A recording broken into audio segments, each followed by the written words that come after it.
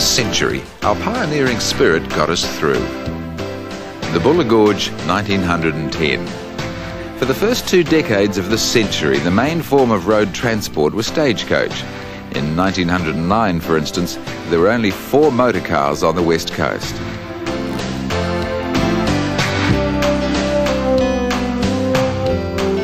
One traveller wrote that the road through the Buller was a nightmare.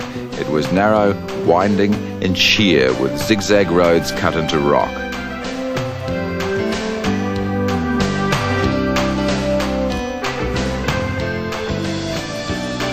But if the traveller had the nerve or stomach to take in the view, the scenery was breathtakingly beautiful. Some of our biggest feats were on the rugby field. It was the day Kirky scored his greatest try. It's been called one of the greatest solo tries ever made by an All Black. It was against the Lions, Lancaster Park, 1971.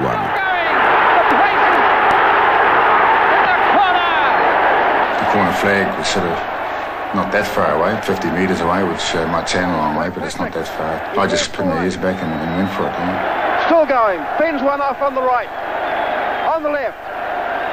Still going and the crowd are just going wild. Tremendous try. Ian Kirkpatrick from Poverty Bay. It was just one of 50 tries Ian Kirkpatrick scored for the All Blacks, but Lancaster Park was his greatest. Even off the rugby field, our men were great movers. In 1949, they didn't build bodies as big, but they could certainly move their muscles. The title of Mr. New Zealand was awarded to Eddie Horton for best all-round physical condition and posture and his Whangarei teammate Keith Going, winner of two special awards, gave a demonstration of muscle control. Eddie Horton did something along the same lines with his shoulder blades. However, the women's togs of the time left a little more to the imagination.